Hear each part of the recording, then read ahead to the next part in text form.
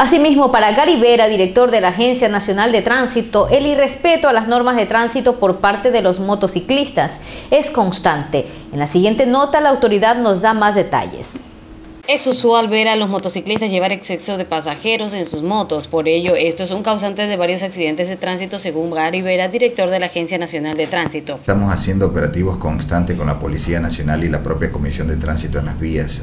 El tema de las motocicletas, definitivamente el no uso del casco de seguridad, el tema del irrespeto a la velocidad, el tema de llevar pasajeros de más de los permitidos, la motocicleta y no llevar a sus acompañantes, a su acompañante con casco, definitivamente son violaciones que se dan a diario. Sin embargo, la autoridad indicó que se está realizando una campaña agresiva para que no se infrinja la ley. Sin embargo, estamos en una campaña justamente para el hecho de que la gente pueda culturizarse, pueda definitivamente cambiar este hábito que tiene de, no, de infringir la ley, de no respetar las normas de seguridad para su propio bien, para el hecho de que no haya, o si hay un accidente, pues no existan lesionados graves como ya hemos tenido algunos accidentes aquí en la ciudad de Machala, en la provincia como tal del Oro, de tal suerte que eso es importante. Estamos haciendo también operativos para concienciar a las personas que conducen una motocicleta.